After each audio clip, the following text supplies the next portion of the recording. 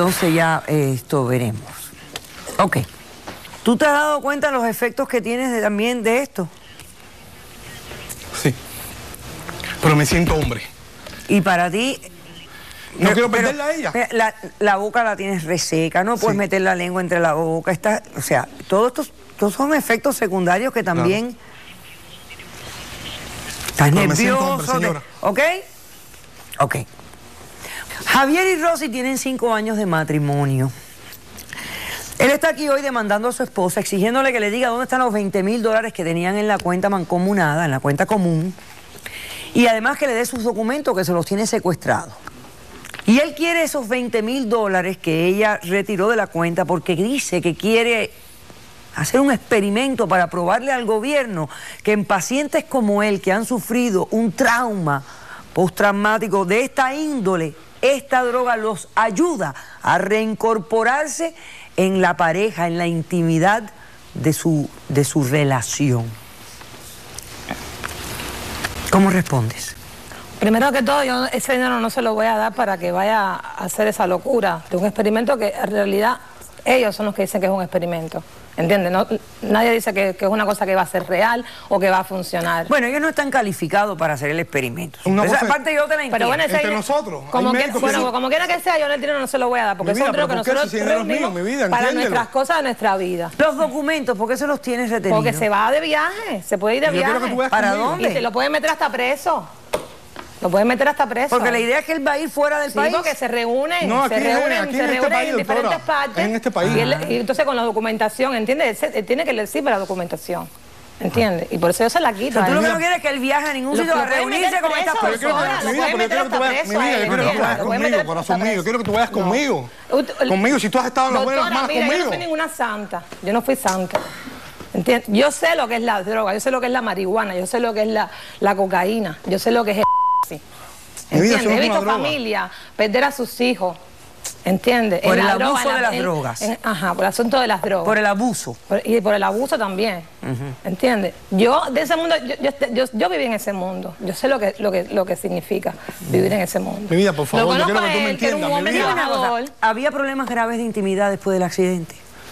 ¿Cómo que después del accidente? Después del accidente de él, ¿hubo problemas de intimidad Sí. entre Sí, ustedes? claro, doctora, claro. Sí los había. Claro, si yo no... él no- no- recibió tratamientos y nada lo Él ayudó. Y él- nada. sí, él iba a los Mi vida, él tú iba- sabes tratamientos. ¿Pero qué me hacía ibas mi vida? Yo lo tratamientos. sentía como hombre, mi vida. él iba a los Yo tratamientos. lo sentía como hombre. ¿Y no lo ayudaban? No, no, no ayudaban. ¿Tú notaste un cambio en él después que consumió? ajá. Eso. No, yo no sabía que lo estaba consumiendo. No, pero bueno, pero tuviste Sí, que yo había un cambio. yo vi un cambio, y si nada más que yo la tocaba a ella. había ido a otro Ya lugar. ¿Y cómo descubriste que, que era? ¿Él te lo dice? ¿Cómo, cómo lo Sí, descubriste? él me lo dio para ir con él a uno de esos Yo confío De en una de esas esposa. reuniones. Ajá, Y ahí fue donde yo me asusté. Yo dije, pero él lo que se está drogando. No, mi vida, no es una Es- droga, Hace ocho es días que ya no lo está haciendo. Y mira cómo está, doctora. Porque estoy desesperado, yo quiero sentirle- No sentirme puede hombre, ser, por no sí, puede mi ser, vida. no puede ser. Por no sí, puede mi ser. vida. Perfecto. No ¿Quién trae testigos en este caso? testigos, yo traigo Tú traes un testigo. Vamos a pasar al testigo. del demandante, por favor, entiende, mi No corazón mío. entender Sí, que entender. entenderme. Doctora, drogado. ayúdame, doctor, en eso. no. Aquí, como todo en esta vida, señores, el abuso es el grave problema. Doctora, de todo. Ayúdeme en eso, El por favor. abuso, el abuso, el abuso. Y bueno,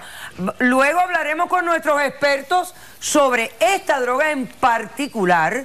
Eh, hablaremos del historial, del por qué se creó de, y de otras cosas, entenderemos. Pero es una droga ilegal. Totalmente ilegal. Legal, pero me hace sentir doctora, ¿Cómo sinceramente. te llamas? Buenas tardes, doctora Drogado. Polo. ¿Cómo vida, te llamas? Mi nombre es Giselle. Giselle. Tengo 24 años de edad. Yo pertenezco a una organización de que usamos y para hacer, tratar de hacer la, la droga legal, no ilegal. Tú estás en una organización, Es un grupo de terapia, ¿sí? sí. Pero un Grupo grupo reconocido por alguien, No, tiene algún tipo no, de no, no, licencia, no, es un grupo de gente que se ha reunido. hay que de gente que nos hemos reunido de, de- de cosas que nos ha pasado en la vida, como por ejemplo a, ¿A ti qué te pasó? Cuéntame. A los 12 años, doctora, yo fui abusada sexualmente A los 12 años. de edad por un amigo de mi mamá, muy cercano a la familia. Me ha costado bastante difícil, difícil comprender todo, aceptar eso como una niña que era inocente. Después me, me fui de la casa, fui runaway. Ah, me, me arrestó la policía, me llevaron a foster care. O drogadita. Allí yo viví hasta los 18 años de edad. Después salí del foster care siendo you know, adulta. Después de ahí ya seguí mi vida. Yo he tratado de estar con mi novio y no podía, con otro muchacho tampoco. Tener relaciones no podía. Eh, you know, me costaba bastante, bastante comprender todo eso. Hasta que el año pasado una amiga mía me, me- me dio y así fue como la, así fue como yo funcioné como mujer. Pues hace como cuatro o cinco años que no Y podía entonces- tener relaciones.